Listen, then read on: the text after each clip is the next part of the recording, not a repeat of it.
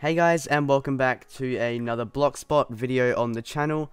Um, today we're going to be in uh, Please Donate and I'm going to be showing you how to get the custom text on your stool or your sign.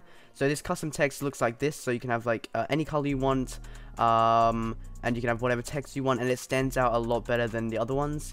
Uh, doesn't necessarily mean people are going to donate to you more than a person with like regular text but see this stands out a lot more than this for example um, and let's see this person has 99 robux and this person has 4000 so that's um, might, might not be just because of the text obviously it probably isn't but the text will catch people's eyes and make it a lot like more likely that people are going to donate to you basically so what you're going to want to do is I'm going to leave this down in the description down below so you can easily copy it but you want to go into your stand um, and this is what you want to paste into there so you can have this stroke color um, so this is the, the stroke color is like the outline of the text. So mine is black. This is the hex code for the black one, for the black color, I mean.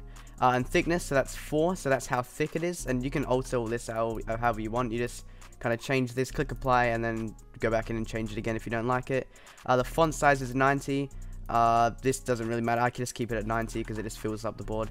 Um, the font color, I have it, this hex code, which is green which I thought looks good because it matched the little icons here.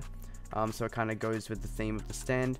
Um, and then you can write, uh, this is the font, and then this is the text here, have a great day, plus subscribe to BloxSpot, which is something that you should have already done before the video. But if you haven't already, make sure to go subscribe to BloxSpot, um, it would be greatly appreciated.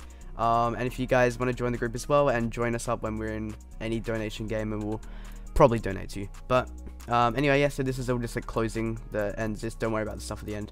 But I'll leave this down in the description down below. Just copy and paste this, change everything around, and you'll get a beautiful looking text just like this. Anyway, I just want to show you guys how you can find that hex code for whatever color you want. So basically what you can do is you can go into a new tab and just search up Photopea like that and open a new project. Uh, it can be whatever you want like this and then if you just go, uh, kind of like make the window smaller. And then, ooh, this is a bit confusing. Uh, you grab, click this color icon down here. And then go to here.